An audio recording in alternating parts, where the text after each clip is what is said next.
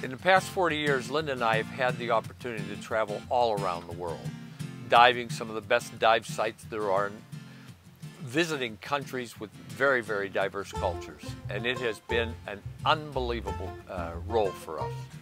We'd like to say thank you to all of the Rec Diving customers that have traveled with us and shared these experiences. It would not have been the same without you.